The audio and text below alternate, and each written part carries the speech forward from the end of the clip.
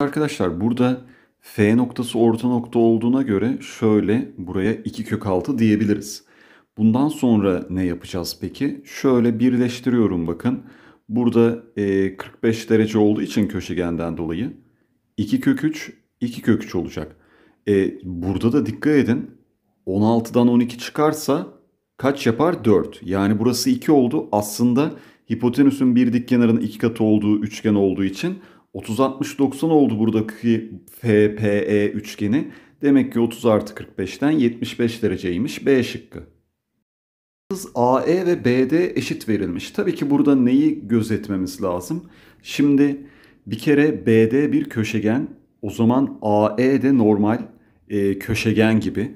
Ben gidip diğer köşegeni de çekersem gördünüz mü? Burada artık bunu siliyorum. Bakın AE ile EC birbirine eşit olur. Burası 90 derece, burası 45 derece. 135 olduğu için 22,5 E açısı, 22,5 C açısı. Zaten 90 derece şöyle köşegenlerin kesim noktası. X 67,5 oldu B şıkkı. İkizkenar üçgen olduğu için tabana dik indirelim. Uzunluk sorusu en nihayetinde 3, 3 olacak. Böylece şuraya P dersek FP de 4 olur. Haliyle arkadaşlar yamukta orta taban yapabiliriz bakın. Taban 6. Diğer tabana da y diyelim.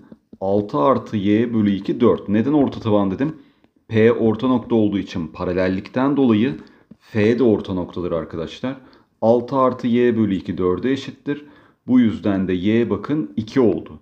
Kenar toplamda 6 olduğu için x'e de 4 kalır. Döndürme sorularında biraz dikkatli olmanız lazım ve işinizi kolaylaştıracak bir şey seçmeniz gerekiyor. 60 derece döndürdüğümüz için basitten başlayalım. Bakın şu BC kenarı döner döner böyle 60 derece. Şöyle yeni BC üssü kenarına gelir. O yüzden eşkenar e, pardon düzgün altıgenin bir kenarı artık böyle BC üssü olur. Şimdi bundan sonra biraz e, zihninizde hayal etmenize bağlı. Eğer hayal edemiyorsanız bir yardımcı doğru daha çizeyim. Bakın şöyle BE doğrusu. Bu da gördüğünüz gibi 60 derece döndürülünce şöyle dönecek dönecek dönecek. BC devam ettirelim 60 derece olduğu için. Şöyle bir E üssü noktasına gelecek. O zaman bakın bu EB buradaydı artık burası oldu. Bu düzgün altıgenin yarısı olan e, daha doğrusu ortasında olan simetri ekseni. Dolayısıyla şöyle artık birleştirebiliriz. Düzgün altıgen bakın şöyle BC üssü, D üssü, E üssü diyebilirim. Yarısı şöyle tarayarak da göstereyim. Artık sağ tarafa geldi. Bu arada tabii ki düzgün altıgenin diğer yarısını da artık çizebiliriz. Demek ki görüntü şöyle, şöyle ve böyleymiş. Bakın diğer yarısı da burası. O zaman nereler düzgün altıgenle karenin kesişimi? Bakalım şimdi. Şu bölge, burası ve burası. Kırmızıyla taradığım bu bölge düzgün altıgenle e, karenin kesiştiği yer arkadaşlar. Burayı da şöyle yapabiliriz. Bakın bir yarım eşkenar üçgen. Bir yarım eşkenar üçgen burada bir etti.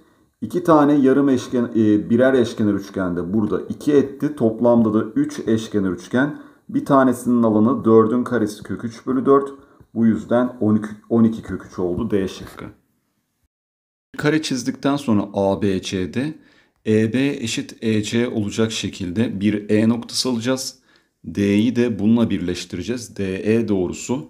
DE'ye indirilen A'dan indirilen dikmenin ayağı H olacak ve bizden HB uzunluğunu istiyor arkadaşlar. Şimdi bu eğik kenarları bulurken HB gibi biraz Pisagor yapmamız gerekiyor. Pisagor yapmak için tabi uzunlukları bilmemiz lazım. Bunun için de şöyle bir şey yapacağım bakın. Özellikle sonuç itibariyle burası 3, 3, 6 ya.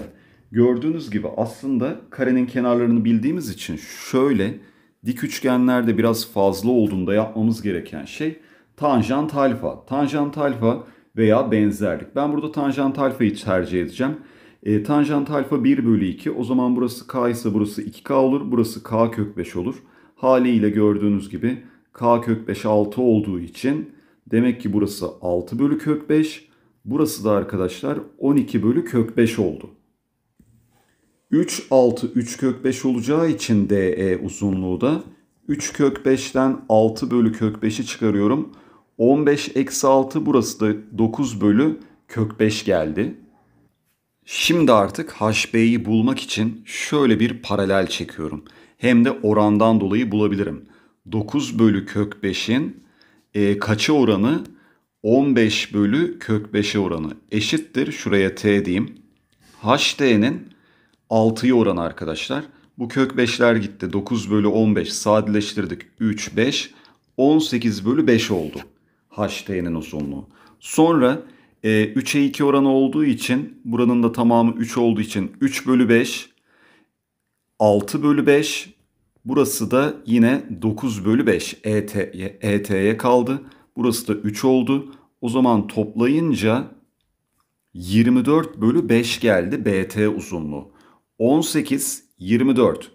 3'ün 6 katı, 4'ün 6 katı, 5'in 6 katı 30. Bir de 5'e böleceğiz tabii ki. Bunların hepsi 3, 4, 5'in arkadaşlar 6 bölü 5 katı oldu. Böylece 30 bölü 5'ten HB 6 geldi. C şıkkı. DE 6, AE 2 kök 5, Pisagor'dan 36'dan 20'yi çıkarırsak DA da 4 olacaktır. Şimdi DCE'nin alanını nasıl bulacağız ona gelelim. Nasıl olsa bulduk artık bir kenarın 4 olduğunu.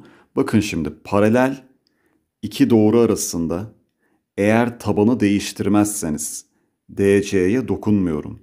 DC'ye dokunmayıp karşı köşeyi paraleller arasında istediğiniz yere getirin. Örnek E'yi buraya getirdiniz. Alan değişir mi? Hayır. Değişiyor gibi görünse bile değişemez. Neden? Paraleller arası yükseklik asla değişmez. 4'tür. Tabanı da değiştirmiyorum 4'tür. Dolayısıyla şu üçgenin alanı neyse sarı üçgenin de alanı o olur ve 4 çarpı 4 bölü 2'den 8 gelir arkadaşlar. Yükseklik ve kenara dikkat edin. Değişmiyorsa alan da değişmez. Paralel kenarda da buna benzer bir soru çözmüştük. Şöyle bir yorum yapacağız. Karede, dikdörtgende, paralel kenarda fark etmez. Şu üçgen şeklin yarısıdır. O zaman burada hemen ikinci bir şekil çizeyim. Şurada bakın ABF üçgenine odaklanın. Burada şöyle buraya A desek buranın alanı A artı 6 olur. Bir tane şöyle çizgiyle birleştirirsem tabanlar aynı. O zaman bakın burası da A artı 6 olur. Yani karenin yarısı 2A artı 12'ymiş. O zaman aynı mantıkla karenin diğer yarısı da bakın 30 artı A'ya eşit. Ve bunlar aynı. Sonuçta ikisi de karenin yarısına eşit olduğu için A buradan 18 geldi arkadaşlar. A 18 geldiğine göre yerine yazarsak 30 artı 18'den karenin yarısı 48. Demek ki karenin 2 ile çarparsak alanı 96 santimetre kare. 96 eşittir. x kareden x 4 kök 6 oldu. E şıkkı. Katlanmış şekli geri açalım. Böylece bakın daha iyi görürüz. Şöyle bir e, A katlandığı zaman K noktasına geliyor. K noktası 90 derece. Açı ortay bu soruda lazım olmayacak ama yine de dursun. Başka sorularda kullanıyoruz bunları. AF 10 olduğu için KF de 10. Bu arada FB de 2 verilmiş. Şimdi şu aradaki açı 45 derece. Bunu şuraya taşıyacağım. Daha büyük yapalım şöyle. Burası 2 santim. Burası 10 santim. Burası 45. K böyle, B böyle. Hemen KB'yi bulmak için bakın. 90, 45, 45, kök 2, kök 2. Şurada da Pisagor yüzden 2 çıkarsa 98 o zaman 7 kök 2 olur. Demek ki KB'nin uzunluğu 8 kök 2'ymiş. Bundan sonra yukarı 10, 10, 10 kök 2'den 4 kök 2 kalır. Yine 45 derece olduğu için EK'yı bulmak için şöyle bir indiririm. Burası 4, 4. Sonra x, x tamamı arkadaşlar bunun 12 olduğu için buraya da 8 eksi x derim. Şöyle bir O noktası diyeyim.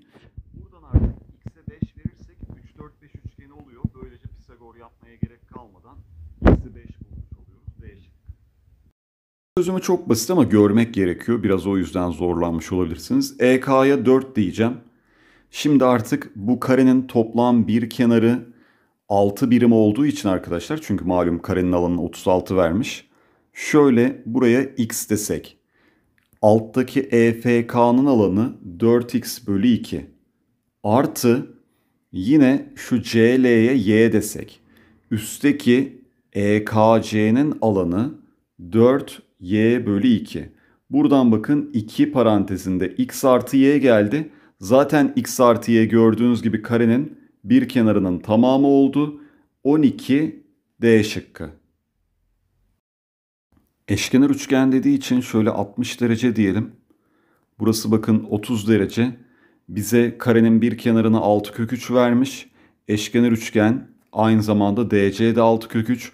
60'ın karşısı 6 kök 3 olduğu için 30'un karşısı 6 olacak. Böylece üçgenin bir kenarını bulduk. Şimdi bu üçgenin bir de şöyle E'den inen yüksekliğini bulsak zaten geniş açılı üçgen olduğu için bakın alanı bulabiliriz. Artık burada da eşkenar üçgen yorumu tabana dik indiriyorum. Ee, 6 kök 3 olduğu için 3 kök 3 oluyor. Burası da 3 kök 3. Demek ki h da buradan 3 kök 3'müş. Alan 6 çarpı 3 kök 3 bölü 2'den 9 kök 3 oldu. E şıkkı. 22,5 22,5 derece burada tabi bize hani böyle 22,5 67,5 90 üçgenini illa kullanacağız diye bir şey yok. Şöyle yapacağız. Tabi bunu görmesi biraz zor olabilir bu soruyu ama bakın açı ortaydan yapacağım size bu soruyu ben. Şimdi şurası a kök 2. Sonra bu kenarda a değil mi? Köşegen kenarın kök 2 katıdır. Bunun bize katkısı açı ortayda böyle y dersek y'nin 12 oranı a'nın a kök 2 oranıdır. Bu yüzden y arkadaşlar 6 kök 2 oldu. Sonra bundan sonrası da güzel. Şimdi e, burası 45 derece. Burası 45 derece. E açısı 67,5 derece. E geriye o zaman dikkat edin lütfen. K'ya da 67,5 kalıyor ve üçgen arkadaşlar ikizkenar üçgen oldu. Kendiliğinden bak KB de 6 kök 2 oldu. Aynı açı ortay yorumunu burada da yapacağım.